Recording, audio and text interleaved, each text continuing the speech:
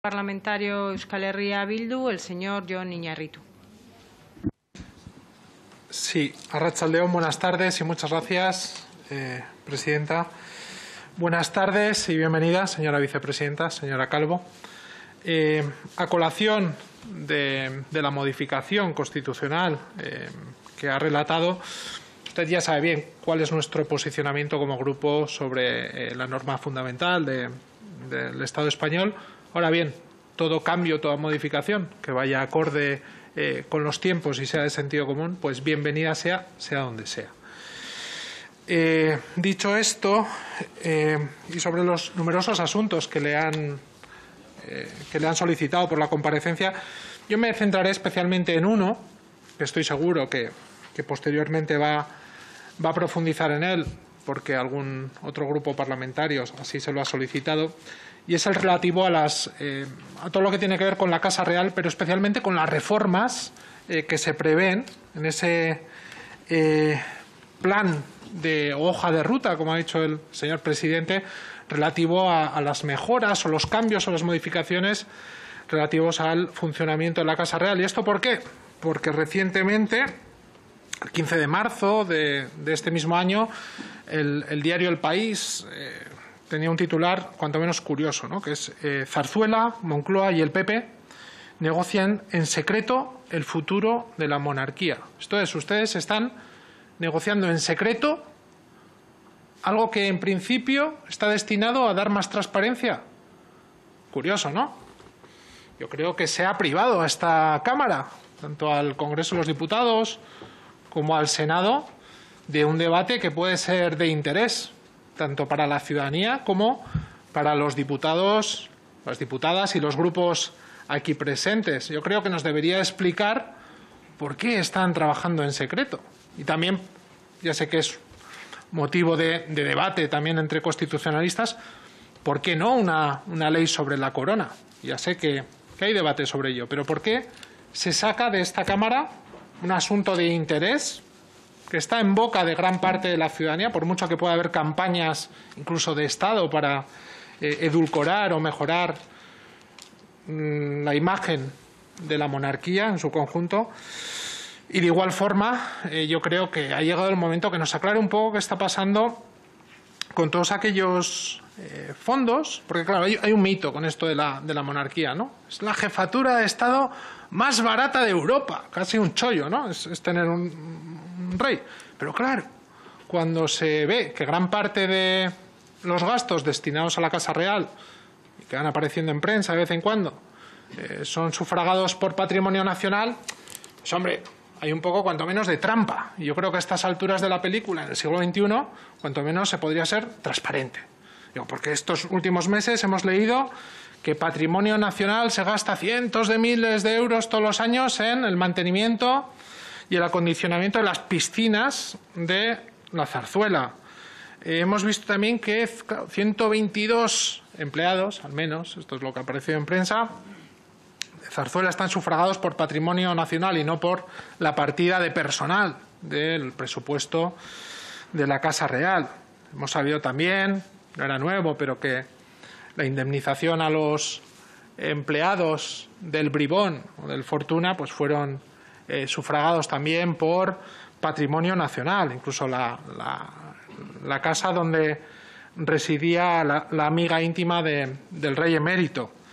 Esto es, yo creo que a estas alturas podrían también tener un poco de transparencia por parte del eh, gobierno en todo aquello que tiene que ver con la Casa Real, porque eh, hay un poco de hermetismo, no solamente en lo que tiene que ver con la Casa Real, sino en todo lo que va desde otros ministerios, desde el propio gobierno a la misma. Y yo creo que, claro, es, momento de tener transparencia, tanto para saber qué están haciendo, que ya digo, debería ser aquí, no, no, sé, me parece muy bien que hablen con el PP, pero estaría bien que, se escuche a, todas las fuerzas políticas.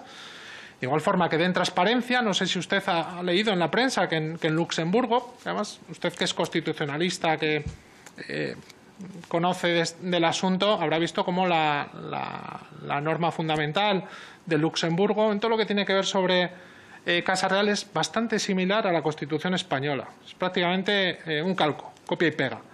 Pues bien, allí no han tenido ningún problema para hacer el llamado informe Guaringo, para auditar de alguna manera eh, los gastos y el eh, tratamiento incluso del personal que se había dado por parte de la Casa Real. Claro, dices algo o propones algo similar aquí y enseguida la mesa del, Congreso te lo vetaría, ¿no? porque las fuerzas eh, monárquicas han decidido que no, que esto es tabú y no se puede hablar de ello. Pero en, Luxemburgo, en un Estado miembro de la Unión Europea, ya digo, con, una, con, unas normas bastante similares a las que tiene España, por no decir calcadas en, en tema de Casa Real, no han tenido ningún problema por ejemplaridad y por transparencia.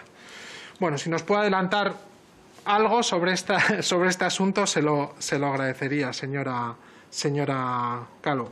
Y ya si nos dice también si van de nuevo a preguntar en el CIS sobre la opinión de la ciudadanía del Estado, sobre el, el jefe del Estado, incluso sobre la monarquía, que no pasa nada, ¿no? Si es, estamos en el siglo XXI, son ustedes un, gobierno eh, muy transparente, en el cual es cierto que hay una fuerza republicana y otra monárquica, pero digo que esto daría pie a que la ciudadanía, o al menos se pueda adivinar qué opina la, ciudadanía del señor Elorza. Me mira, eh, bueno, usted estará en el, en el bando republicano, señor Elorza, pero ahí también hay de todo. Eh, entonces, nos podrían un poco, ya digo, dar la oportunidad de saber qué opina eh, la mayoría de la ciudadanía sobre, sobre este asunto. Y no sé cuánto tiempo me queda, señora presidenta. Ah, bien, bien, bien. Vamos bien. Y otro asunto, señora Calvo. Ustedes han propuesto una ley de memoria democrática que mmm, yo creo que es un paso positivo, que es, que es, que es un paso en, en adelante. Eh, ahora bien, eh, mientras esta ley llega, llega a estas eh, Cortes Generales, pues estamos viendo asuntos que yo creo que no se deberían ver. Y, por ejemplo, hemos visto recientemente una manifestación en, de apología de los voluntarios nazis españoles de la División Azul en las calles de Madrid, con alegatos antisemitas y discursos de odio. Y claro, es que esta manifestación no es que se haya producido este año así por así, es que todos los años cuenta con la debida autorización de la delegación del Gobierno y es que este año incluso la Policía Nacional tras acabar la misma, dijo que no había habido nada extraño, que se había celebrado con total normalidad. Cuando vimos a una señora, una señorita o, o una chica haciendo todo tipo de proclamas antisemitas de apología del nazismo y discursos del odio. Yo creo que esto no se debería ver, ¿no? ni en las calles de Madrid ni en ningún, ni en lugar del, del Estado. De igual forma, vemos con asiduidad ya sé que no solamente en España, pero discursos, comentarios, vídeos de apología del nazismo, del franquismo, lo más preocupante, por miembros o de las Fuerzas Armadas o por miembros de las fuerzas y cuerpos de seguridad del Estado. Claro, y usted me dirá, son una minoría. Obvio, pues me, menos mal, ¿no? Eh, menos mal, porque eh, si no fuera así en, un Estado de la Unión Europea en el siglo XXI, pues tendríamos que preocuparnos. Pero ¿qué van a hacer con esa minoría? Porque ya hemos visto que Alemania ha hecho investigaciones y ha eliminado unidades por este mismo problema, porque ya digo que no solamente ocurre en España.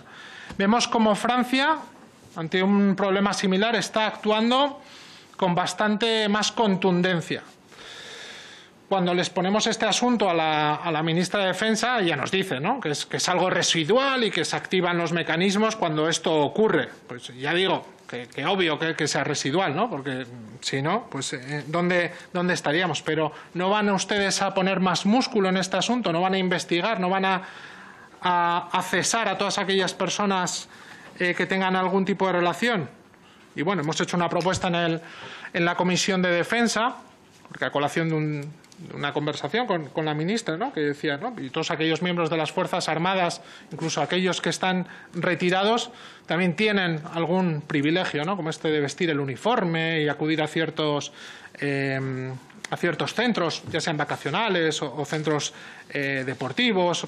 Yo creo que habría que, cuanto menos, tomar medidas, aunque pudieran ser en algunos casos simbólicas, pero que eh, dejaran claro que no se pueden permitir hechos similares. Y para acabar, Mire, recientemente eh, fallecía eh, un antiguo general de la Guardia Civil que fue condenado por hechos de, de, tortura y de terrorismo, terrorismo de Estado en este caso, y se da la casualidad de que es la persona más condecorada de ese cuerpo policial en las últimas décadas. Claro, cuando falleció el torturador Billy Niño, a ustedes les escuchamos decir rápidamente que se le retirarían las medallas, las condecoraciones, aunque fuera título póstumo. Cuando falleció el señor Galindo, ustedes no dijeron nada. Y preguntamos al Gobierno y nos ha contestado que, bueno, que eso es, cosa de esta Cámara aplicar la, normativa.